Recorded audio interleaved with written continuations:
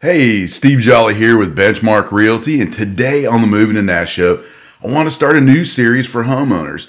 And if you're thinking about selling your home, then this is for you. Now, the first thing I want to talk about today is the Nashville Market Heat Index. You've heard a lot about it lately because it's the number one factor driving the market today. There are simply not enough homes for the current demand. Now, fortunately, buyers in this area have a habit of slowing down in the fall and winter months.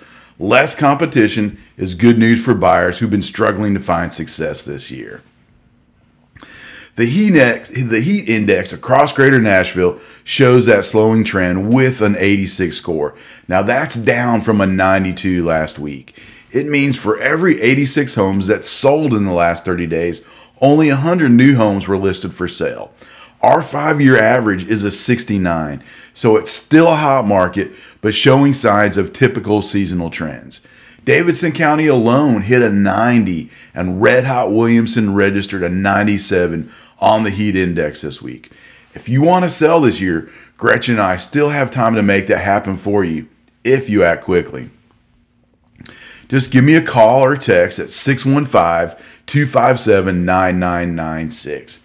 Now, if your timeline is early next year, I'd still call, and here's why. Marketing is everything when it comes to getting the best price for your home, and pictures are a huge part of how the public views your property. Exterior photos that show your curb appeal look best right now, especially compared to late fall and winter pics. We can have the photos shot now while your while your yard still looks gorgeous and be ready to list when it makes sense for you. This also gives us more time to get your custom marketing plan designed and optimized. Now, over the last few years, we've put a ton of resources towards marketing our listings that resulted in more showings, more competition, and more profit for you, our clients. You won't get this level of digital marketing for your home from any other Nashville agent. Now, next week on the Moving to Nash show, I'll show you what we do to market your home, and then I'll show you the results so you can see for yourself.